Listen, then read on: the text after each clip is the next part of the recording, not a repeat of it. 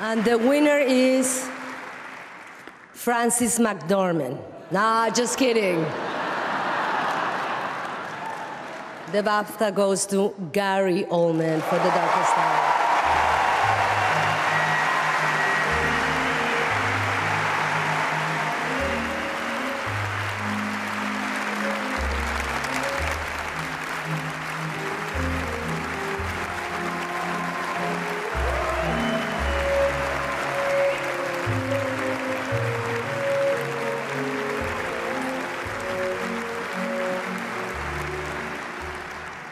Oh, thank you, BAFTA, for this tremendous honor.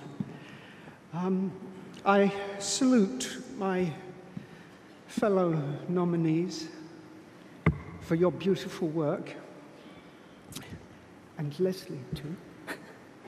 um, this is made all the more special because I, uh, I can share it with my family tonight who are here, my three sons, uh, Alfie, and Gulliver, Charlie, my beautiful wife, uh, Gisele, and my extended family, Jim Osborne, Douglas Urbanski. Without your support, without your help, without your faith in me, I would not be standing here. Joe Wright, you led with, you led the charge with such uh, integrity and energy and passion. You handpicked an armada of talent. Um, I love you, Kristin. I love you, Lily. Uh, you, you, you have a singular vision and a huge heart, and they were never more on display than in this beautiful film.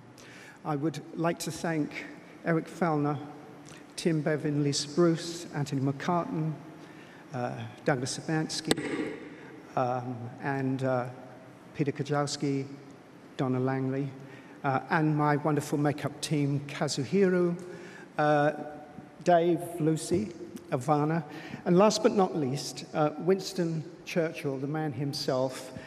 In those dark, uncertain days in 1940, he held the line for uh, honor, um, uh, for integrity, um, and, uh, and freedom for his nation and the world. So I thank you, Sir Winston. I thank you, um, the Churchill family, and of course, uh, once again, uh, BAFTA. My, I, am so grateful for this uh, incredible honor. Thank you.